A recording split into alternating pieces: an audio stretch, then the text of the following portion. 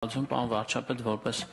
ֆուտբոլի ֆեդերացիայի գործկոմի նախկին անդամ ներկայումս շահառուների կոմիտեի նախագահ ուզում եմ ասել, որ շարունակելով թե ձեր թե Տիկին Անդրեասյանի միտքը պետք է ավելացնեմ, որ սա ոչ միայն կարևոր իրադարձություն է լինելու երիտասարդական առաջնությունը Հայաստանի համար, այլ կարևոր է համաշխարհային ֆուտբոլային օրացույցի համար։ Այսինքն ըստ էության այդ ողջ ընթացքում համաշխարհային ֆուտբոլի ուշադրությունը սևեռված է լինելու Հայաստանի վրա եւ շատ կարեւոր է այստեղ որակյալ կազմակերպչական նախապատրաստական աշխատանքն է, ինչը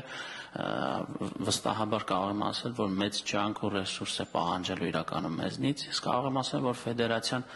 վերջին տարիներին շատ ինտենսիվ